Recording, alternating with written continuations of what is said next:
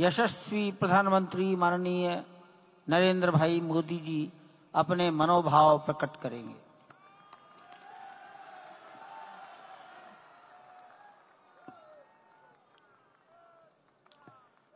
सियावर रामचंद्र की जय।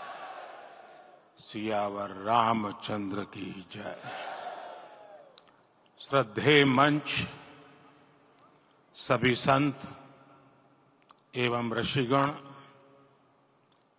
यहाँ उपस्थित और विश्व के कोने कोने में हम सबसे साथ जुड़े हुए सभी राम भक्त, आप सबको प्रणाम, आप सबको राम राम।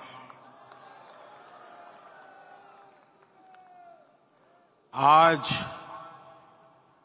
हमारे राम आ गए हैं।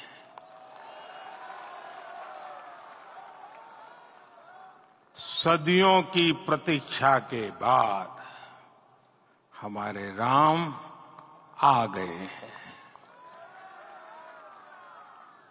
सदियों का अभूतपूर्व धैर्य, अनगिनत बलिदान, त्याग और तपस्या के बाद हमारे प्रभु राम आ गए हैं।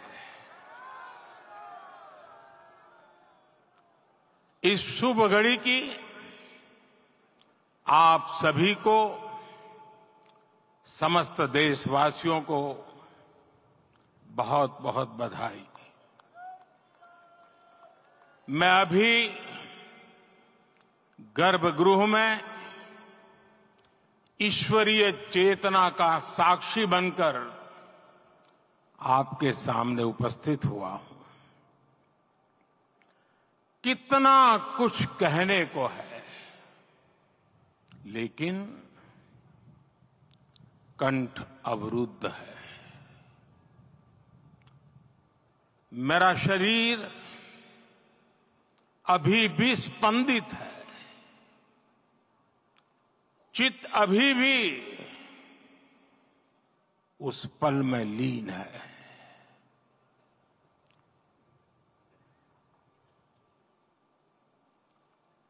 हमारे रामलला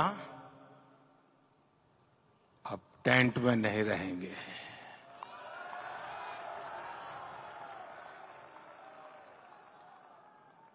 हमारे लाल रामलला अब इस दिव्य मंदिर में रहेंगे। मेरा पक्का विश्वास है, अपार श्रद्धा है कि जो घटित हुआ है इसकी अनुभूति देश के, विश्व के कोने कोने में राम भक्तों को हो रही होगी।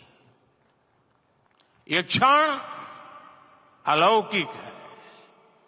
ये पल पवित्रतम है।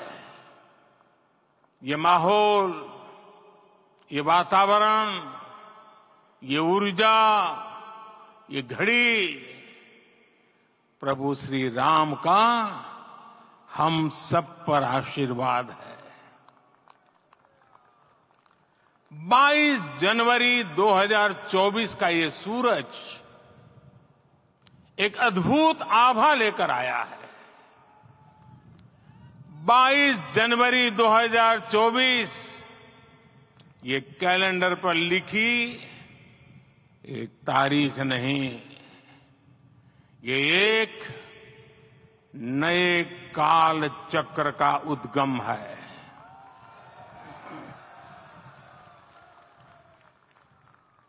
राम मंदिर के भूमि पूजन के बाद से प्रतिदिन पूरे देश में उमंग और उत्साह बढ़ता ही जा रहा था निर्माण कार्य देख देशवासियों में हर दिन एक नया विश्वास पैदा हो रहा था।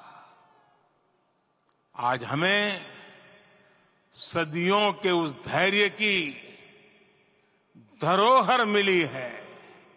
आज हमें श्री राम का मंदिर मिला है। गुलामी की मानसिकता को तोड़कर उठ खड़ा हो राष्ट्र, अतीत के हर दंश से हौसला लेता हुआ राष्ट्र, ऐसे ही नव इतिहास का सृजन करता है। आज से हज़ार साल बाद भी लोग आज की इस तारीख की, आज के इस पल की चर्चा करेंगे।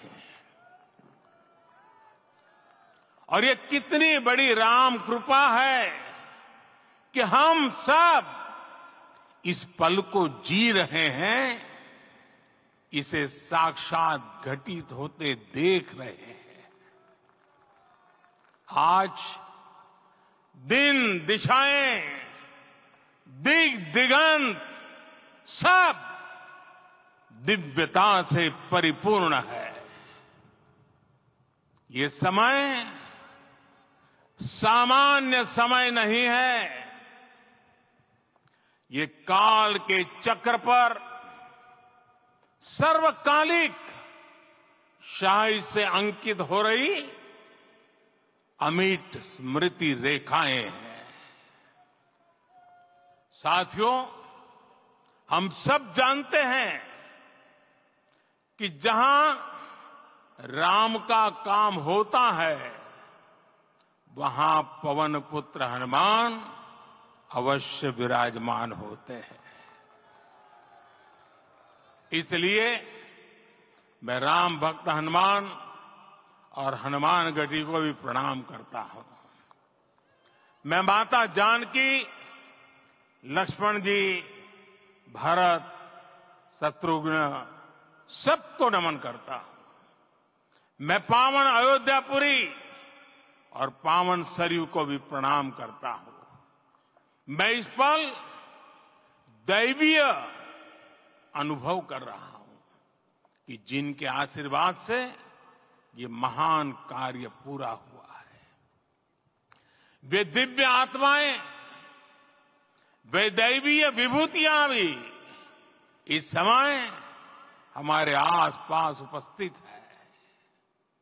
मैं इनसे भी दिव्य चेतनाओं को भी कृतज्ञता पूर्वक नमन करता हूँ। मैं आज